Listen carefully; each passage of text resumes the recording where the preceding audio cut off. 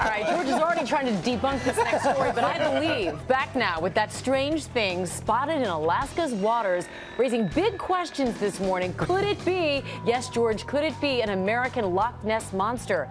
ABC's Gio Benitez is here. Gio, what do you think? Prove it, Gio. I agree with you, and I, I love that music, by the way. Listen, I'm not easily convinced by this stuff, but wait till you really look at this video. Many in Alaska wonder if it's the rumored relative of the Loch Ness monster. So on this Halloween, you decide.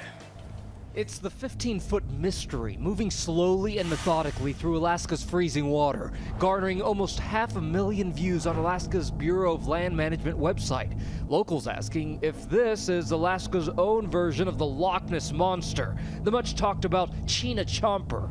One visitor to the site believes Chena is back, writing, The Chena Chomper, it's back. It was like our own Bigfoot. Another finding the Halloween sighting spookily timed, speculating it could be zombie salmon. That's what I thought.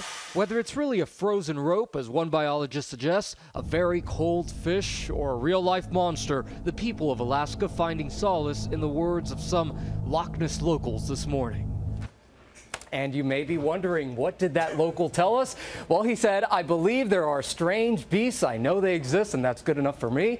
Now, before you get too scared, know that some of the employees there at the Bureau of Land Management admit to doctoring the video a bit, adding some oh. music, adjusting the speed, and they say they did not. Music and speed, that doesn't change what we saw. I know, they say they did not add that George, monster. tell them They what you they- think it is.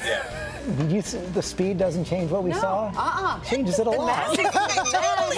Totally changes it. The That's a bunch. Of, it's a bunch of buoys going through. A bunch of buoys. Buoys. No, that was natural. Look at that natural movement. The music does help. The music, I got, it. I got the music helps. You decide.